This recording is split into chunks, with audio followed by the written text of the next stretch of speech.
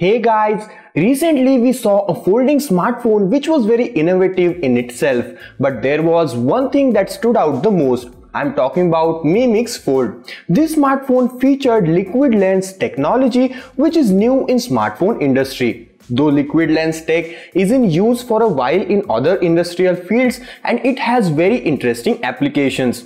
But Mi Mix Fold is the first smartphone that introduced this liquid lens tech in smartphone market. Now previously there were reports that Huawei is also working on this liquid lens tech but we never saw any device from Huawei that used this liquid lens technology. So what is this liquid lens technology and how does it work? Is it any good? Let's figure out in today's video.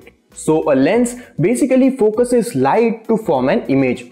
This lens also decides how much area will be covered by a camera in an image and that's why in DSLRs we use different lenses. The camera or the DSLR is constant with an image sensor but we use different lenses for wide angle shots or zoom shots or portrait shots.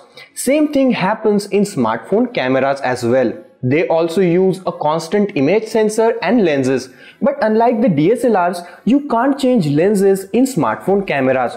So as a result of that, you have one sensor dedicated only to a specific type of photography. And if you want different types of photos, you have to use more than one camera. So that's why smartphones usually feature multiple cameras. But more cameras means more space occupation and smartphone is a compact device there are so many components fitted in a very small space. So if you can somehow make more space in given device, you can use that extra space to accommodate bigger battery or you can use it for better heat dissipation. Or maybe if you have enough space, you can fit a 3.5mm headphone jack in there.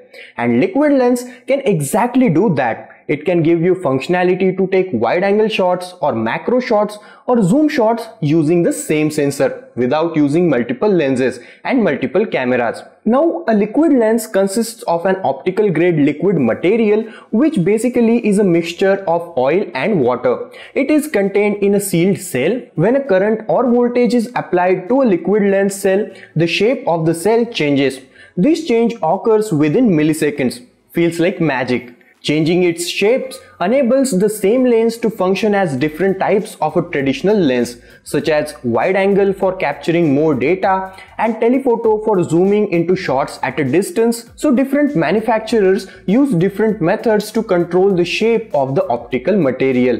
These processes are slightly different which include electrowetting, current driven polymer or sound piezoelectric. Now another benefit of using a liquid lens is that it improves image stabilization. You also get faster focusing speed so it improves autofocus capabilities and as a result you get sharper images. As a liquid lens gives your smartphone versatile camera experience, it results in less number of cameras and more space.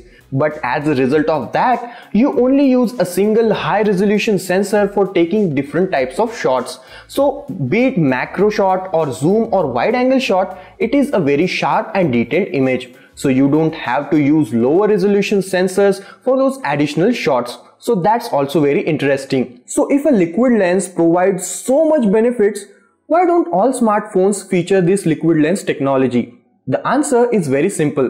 Though very beneficial, it's very complex to implement. It's also a bit costlier than regular solutions and it also has its own flaws. As it uses water and oil, there's an issue of scattering of light. I hope that in future, more smartphone brands implement this tech as it's very promising. What are your thoughts on this? Let me know in comments down below. Subscribe to the channel for more videos like this.